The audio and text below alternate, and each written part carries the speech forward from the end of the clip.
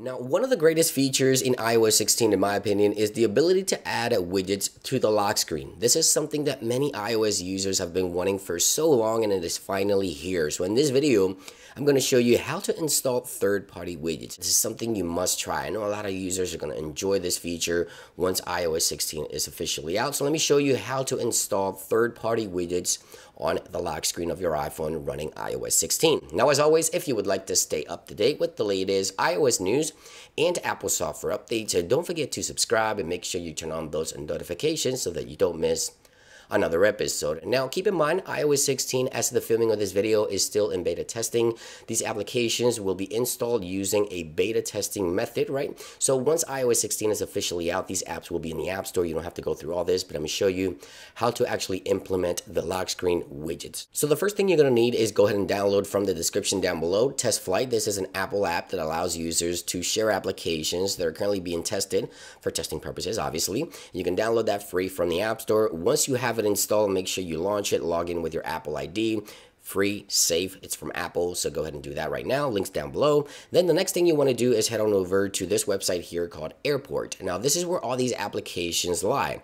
Now, all these apps don't have widgets, but some of these do, and I'm going to share with you guys one or two that are my favorite currently right now being tested. And I want to start off with a lock screen contact widget. This allows you to have contacts extensions within the lock screen of your iPhone using a widget. Again, this is going to be so popular. You must try this out. Let's tap into this app application here and let's go ahead and click on get you get a description you get some information on how it works. So let's go ahead and click get here. It's going to bring us to TestFlight to accept and install download and install. So once it's done downloading and installing we'll be able to actually open the application just like so.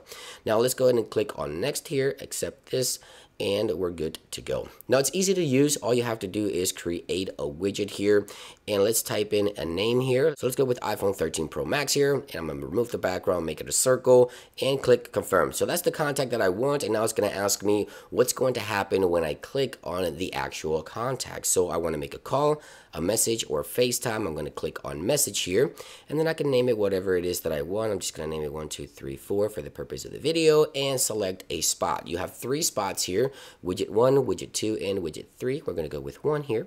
And now we're done. All we have to do now is go onto the lock screen here, go into customizing mode, click on customize, and add a widget. So we tap on the widget area here, and then we scroll down and we find the actual extension for contact widget. And there it is, widget 1. Now I can add 2 or 3, as you can see right there. So we're going to go with 1. We have two different sizes, small and medium. I'm to go with the medium one here.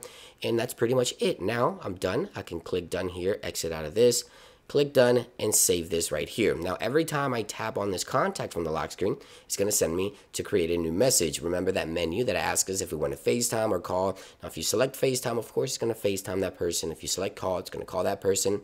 I selected, go ahead and send a message. Now there's other applications as I mentioned, you can browse through the entire catalog here and go ahead and choose the ones that you would like to test out. As you can see here, there's different categories of different apps. Not every single application has an extension for the lock screen, but some of those do. I also like another one here called, what's the name? I forget the name. These are brand new applications, so excuse me, I don't remember the name. Countdown. Countdown is an application that I installed here using TestFlight.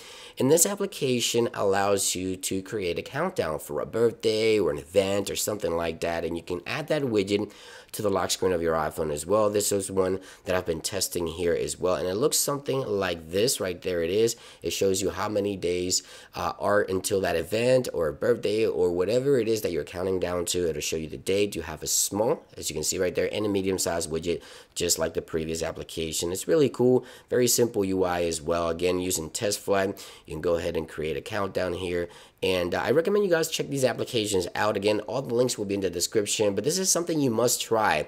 Extensions and third-party widgets for the lock screen, which is going to be something that's going to be extremely popular once iOS 16 is officially out to the public. Again, this right now is in beta testing, but in the future, once iOS 16 is officially out, you can search for apps in the App Store and then choose those extensions directly within those applications right here on the lock screen of your iPhone within this menu right here. There's Countdown, as I mentioned before, and you can go ahead and implement those directly onto your iPhone. Let me know what you think about this in those comments down below. Will you be using third-party widgets and extensions for your iPhone with iOS 16? Thank you for watching, and I'll see you guys on the next one. Peace.